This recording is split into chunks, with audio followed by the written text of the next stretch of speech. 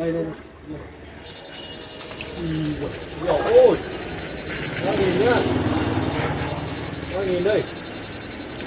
Đây ba nghìn nó chết cả cạnh truyền này máy rất khỏe đây em đánh tần số thấp thôi nhé đấy mà đánh thế này rồi ba bác nhìn nhé mình tự nghĩ phát thế này như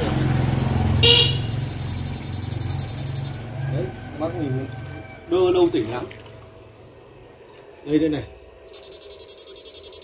ui rồi các bác nhìn nó nổ nhé còn gì nữa không? Không còn nói gì nữa nó quá khỏe luôn đấy. Đấy, các bác nhìn nhé đây là con kích 16 phép này, hai bên áp này. Đó, nó nổi, thôi rồi. Nói chung là với con nặng, với mức ao này thì con cá, con con con kích này thừa công suất đi mức ao này, mét rưỡi nước không đó nhìn. không thể cao được luôn mà em bật tần số thấp ấy. không thể chạy nổi chạy sao được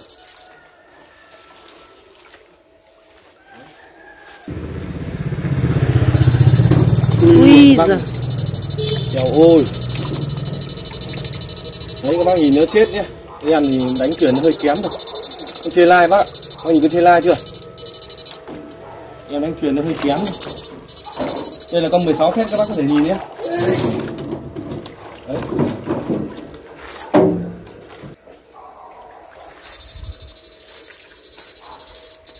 Con gì trong kia gì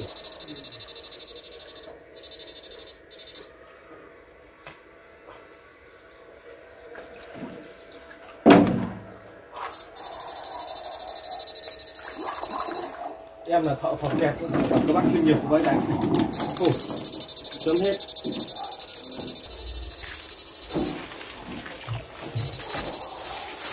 Ừ.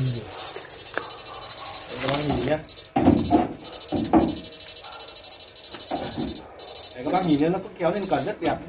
Đấy. ok các bác nhé. Đây là con 16 phép hai viên áp chạy pick các bác nhé. Em đánh ở tần số thấp mà con rô phi đã chết đã kinh khủng như vậy rồi. Nên là các bác đánh tần số cao thì một chấm hết. Đấy là cái ao của em thì do nó, nó nước nó cạn nên em không cần phải đánh máy mạnh các bác ạ. Nhưng mà căn bản giờ mùa chỗ em giờ là mùa khô rồi.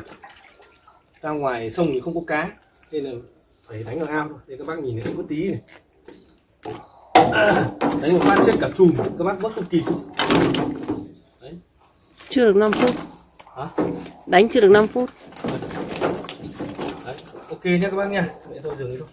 Chào toàn thể các bác nhé. Đây là con kích cá 16 phép 2 biến áp chạy pick các bác nhé. Được bên em thiết kế và lập trình từ A tới Z. Đó. Và đây là thành quả đây. Thực ra thì nói thật với các bác là cái ao này với em đối với con máy 16 phép này thì nó nó hơi bé. Đối với công suất của nó thế nên là em phải vặn nhỏ. Đấy, để đánh con cá nó còn nổi vì ra mực nước bây giờ có khoảng mét rưỡi nước thôi, nó không sâu được các bác ạ. Thế nên là đánh như vậy thì nó khỏe quá. Nên là nó không phù hợp lắm. Cái ao này thì còn 8 phép là đánh thừa sức rồi đấy còn 16 phép thì nó rất là khỏe. Đấy các bác có thể xem ờ, clip em đánh chết cả chùm đằng sau nhé. Đơ một phát đơ ngay. Đấy. Nên là anh em nào có nhu cầu liên hệ nhé. Em chỉ dám bật cái, cái công tắc nó ở cái mức yếu thôi. Đấy. thì con dòng này thì em đã làm hai mức áp cho các bác nhé. Áp cao áp thấp.